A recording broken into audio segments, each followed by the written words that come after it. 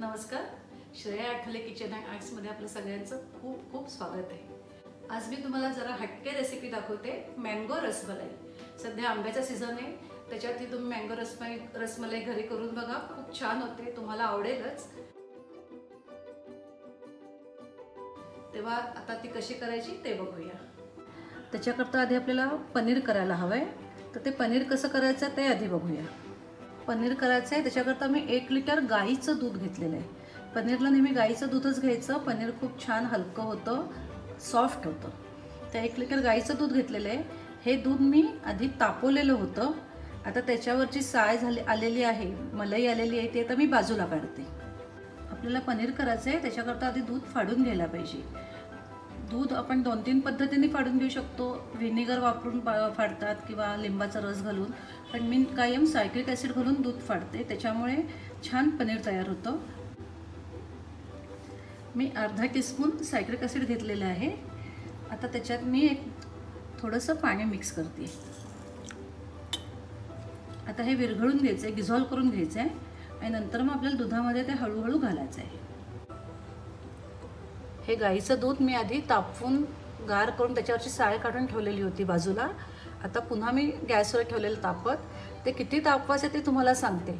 असं आपण त्याच्यात जर बोट घातलं तर आपल्या हाताला चांगलं चटका बसला पाहिजे एवढंच तापवायचं आता हे झालेलं आहे. आता मी गॅस एकदम बारीक करते.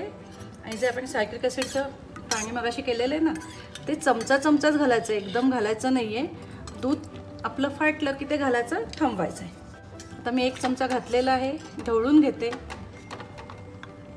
पुन्हा एक चमचा घालते. एकदम घालू नका.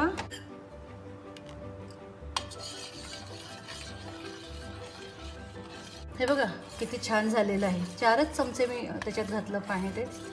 पातेल्यामध्ये चाळणी ठेवली आहे त्याच्यावर फडकं घालते असं हे मी. त्याच्यावर. हे बघा किती छान पनीर झालेलं आहे.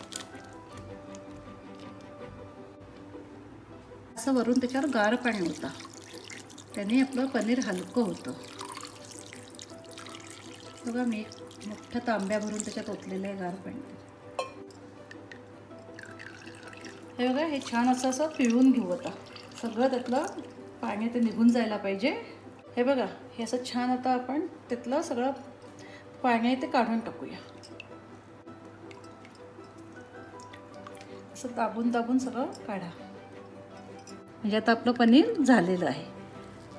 हे बघा किती छान झालेलं आहे पनीर. ते आता एका थाळीत काढते मी सगळं. हे बघा हे सगळं फडक्यावरचं पनीर निघालेलं आहे. छान निघालेलं आहे स्वच्छ झालेलं आहे फडकं. आता आपण पनीर छान मळून घेऊया सगळं. हे बघा आपलं पनीर तयार झालेलं आहे. किती छान झालेलं आहे बघा. आपल्याला साखरेचा पाक करायचा आहे. त्याच्याकरता मी साखर घेते. ही आपली जी नॉर्मल वाटी असते घरातली नेहमीची ती साधारण मी अडीच वाट्या साखर घेते. साखर घेतली आहे त्या साखरेच्या तिप्पट आपल्याला मी तीनपट पाणी ह्याच्यात मिक्स करायचं आहे. म्हणजे आता अडीच घेतलेला तर साडेसात वाट्या मी पाणी ह्याच्यात मिक्स करते. साखर विरघळली की पाक करू. मी मगाशी एका पातेल्यात केलेलं ते सगळं आता मोठ्या पातेल्यात घेतलेलं आहे. म्हणजे रसगुल्ले उकळायला छान त्याची मदत होते. मोठ्या पातेल्यातच तुम्ही रसगुल्ले काय मोकळा म्हणजे ते चांगले फुलतात. आता हे मी गॅसवर ठेवते असं छान मळलं जात आहे एका लिटरमध्ये दीडशे ग्रॅम पनीर होतं. आता हे खूप छान असं मळून घ्यायचं आहे जेवढं मळाल तेवढे क्रॅक कमी जातात. किती आपलं पनीर छान झालेलं आहे तुम्हाला दिसत असेलच. जराही खाली चिकटत नाही आहे ताटाला इतकं सॉफ्ट आणि मस्त झालेलं आहे. हे बघा त्याचे लहान लहान आपण बॉल करून घेऊया. त्याचे थोडे चपटे करायचे असे. हे बघा. आता असं सगळे मी करून घेते. हे बघा हे आपले सगळे पनीरचे बॉल्स तयार करून झाले. जरा चपटे करून घेतलेले आहेत. काही काही क्रॅक वगैरे गेलेली नाही आहे त्याला. इतकं छान पनीर झालेलं आहे. बारा ते चौदा बॉल तयार होतात. हे बघा हा पाक मी उकळायला ठेवला होता. त्याला आता उकळी यायला लागलेली आहे. आता त्याच्यात मी एक एक हा बॉल सोडते. मी आता जरा गॅस बारीक करते. हे एक एक घालते याच्यात. मधोमध घाला.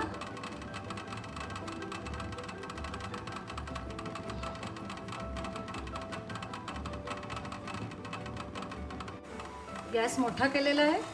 आता ह्याच्यावर आपण असं झाकण ठेवूया.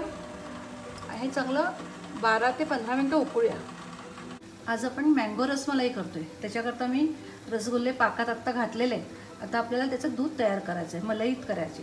त्याच्याकरता मी म्हशीचं दूध घेतलेलं आहे. फुल क्रीम मिल्क म्हणतो ते घ्यायचं आहे आपल्याला. ते मी अर्धा लिटर दूध घेतलेलं आहे. हे आपल्याला आटवायचं नाही आहे ह्याच्यात आपण आंब्याचा रस घालतो आहे त्याच्यामुळे जास्त आटवू नका. तर ते आता कसं करायचं ते तुम्हाला मी दाखवते. ह्यातलं थोडंसं दूध मी एका लहान बाऊलमध्ये काढते बाकीचं दूध आपल्याला उकळायला ठेवायचं आहे गॅसवर. जे मी दूध बाजूला घेतलं होतं त्याच्यात मी दोन चमचे मिल्क पावडर घालते. नेस्लेची घेतलेली मी मिल्क पावडर ते दोन चमचे मिल्क पावडर ह्याच्यात घालते. आणि पाववाटीपेक्षा थोडीशी जास्त साखर मिक्स करते. आता हे सगळं मी छान मिक्स करून घेते. हे बघा हे दूध दूध साखर आणि मिल्क पावडर एकत्र केलेलं आहे. ते मी ह्या दुधाला लावते. हे बघा हे दूध छान ते साखर वगैरे सगळे छान मिक्स झालेली आहे. ह्याला आता एक उकळी आली की मी गॅस बंद करते. हे गार झालं की ह्याच्यात आपल्याला आंब्याचा रस घालायचा आहे. हे बघा केवढे छान फुलले तुम्हाला दिसत असतील. हे बघा हे आपले छान तयार झालेले आहे. आता तीन चार तास असेच राहू दे हे. नंतर मग आपण ते दुधात घालूया. हे बघा चार तास झालेले आहेत. हे छान गार झालेलं आहे. आता हे आपले रसगुल्ले तयार झालेले आहेत. तुम्हाला मी एक काढून दाखवते. हा बघा केवढा मोठा झालेला आहे. आपण लहान लहान केलेले होते त्याचे दुप्पट झालेले आहे. आपण मँगो रस मलाई करतोय. त्याच्याकरता मी अर्धा लिटर दूध म्हशीचं दूध. उकळून घेतलं होतं छान. ता त्याच्यात मिल्क पावडर आणि साखर मिक्स केलेली होती. आता ते पण छान गार झालेलं आहे. आणि आता ह्याच्यात आपल्याला आंब्याचा रस घालायचा आहे. मी एक वाटी आंब्याचा रस घेतलेला आहे. तुम्ही रस कमी जास्त कसाही घालू शकता. साखर मी आधी घातलेली तुम्हाला लागली तर अजून तुम्ही थोडी साखर घालू शकता. आता हा सगळा मी ह्याच्यात एकत्र करते. आता हे सगळं आपल्या आपल्याला एकदा मिक्सरमधनं फिरवून घ्यायचं आहे म्हणजे ते छान एकजीव होईल मिक्स होईल. हे मी मिक्सरच्या जारमध्ये घेते. हे बघा हे आपलं छान तयार झालेलं आहे दूध. हे दूध जास्त आपल्याला आठवायचं नाही कारण आंब्याच्या रसामुळे घट्ट होतो दूध. त्यामुळे दूध तापवून त्याला थोडीशी मिल्क पावडर लावून पाचच मिनटं उकळायचं. हे बघा तुम्हाला दिसेल किती छान झालेलं आहे. जेव्हा रसगुल्ल्यावर हे घालू तेव्हा त्याच्यात ते छान आतपर्यंत गेलं पाहिजे.